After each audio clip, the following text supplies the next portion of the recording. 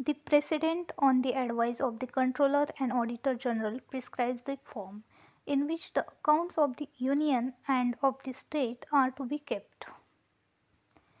It is the prerogative of the Union Parliament to effect changes in the salaries of state governors. The grounds under which the President may remove a governor from office are not laid down in the Constitution. Who among the following draws the lowest salary? Judges of state high courts. Equality, fraternity, and liberty were ideas that emanated from the revolution of France. The two former governors of the RBI, who later became Union Finance Ministers, were C.D. Deshmukh and Manmohan Singh. Provisions for disqualification on ground of defection are listed in Schedule 10. Who among the following can rem remove a chief minister from his office? State Legislative Assembly.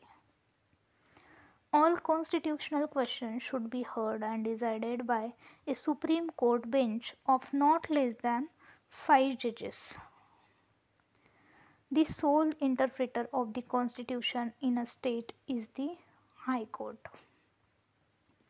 The post of registrar of a state high court can be ruled up only by the Chief Justice of the High Court. According to the constitution, there shall be a council of ministers with the prime minister at, at the head to aid and advise the president. Which among the following subjects is included in the concurrent list of the Constitution? Newspapers.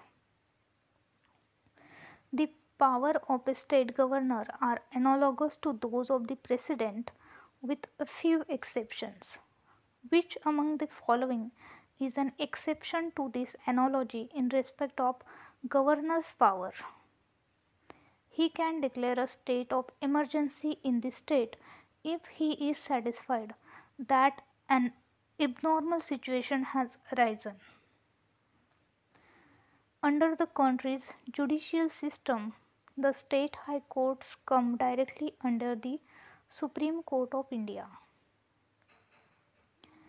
The emoluments and allowances of the state governor shall not be diminished during his term of office. Which among the following functions under the principle of collective responsibility? Union Council of Ministers. If the preamble of the Indian Constitution is violated, the Supreme Court alone can help.